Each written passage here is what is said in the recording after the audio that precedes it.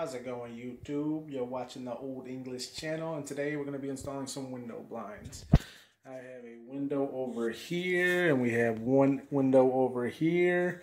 I already purchased the two blinds. We're set and ready to go. I got a drill, I got a screwdriver. I just don't know what I'm doing. So apparently we're going to need a level, a pencil, and a measuring tape as well. I don't have those things, so we'll just make it work without them. Alright guys, so I guess the first thing you want to determine when you're measuring your window, even before you go and purchase your blinds, is whether you're going to be doing an inside mount or an outside mount. Um, no, um, no idea about that. So when I measured, I measured on the inside of the window, so that's what we're going to be doing today. Alright guys, so here's what our bracket mount looks like. So that's what we're going to be installing. There's three of them. They come with the screws as well. Here's kind of just looking at the inside of that blind at the top there. So we know obviously we're not going to want to install um, the bracket mounts here where they have some of those inner workings on the blind. So make sure we're not going too far from the edges.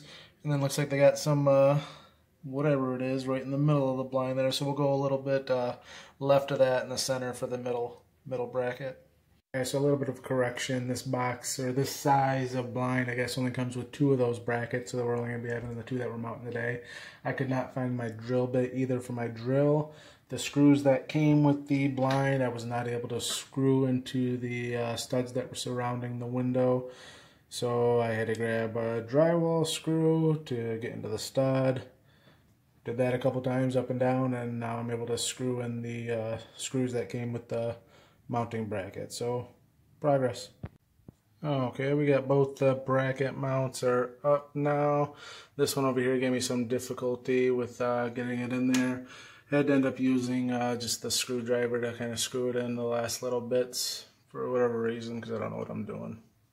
Alright, so everything's been going uh, pretty smooth so far. No. Not at all. Apparently I don't know how to tell where the blind's to go on this window.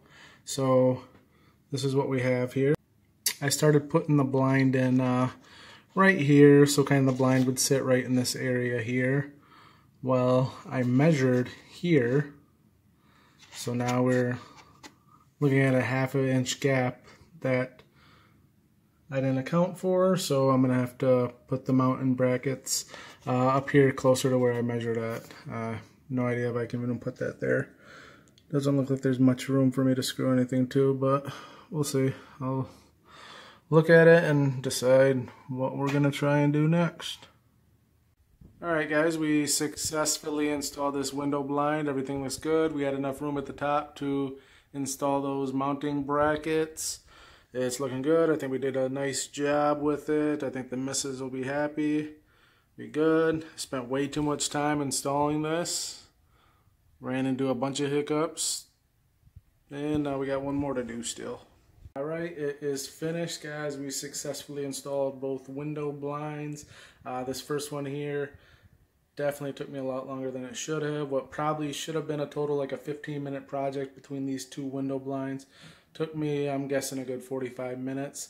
That second one I, I probably literally spent not even 10 minutes on installing. It was really, really quick and easy. Um, helps when you know what you're doing. Please like and subscribe to my videos, my channel. I'll continue posting more content for you guys so you guys can watch me messing things up and not knowing what I'm supposed to be doing and hopefully figuring things out along the way.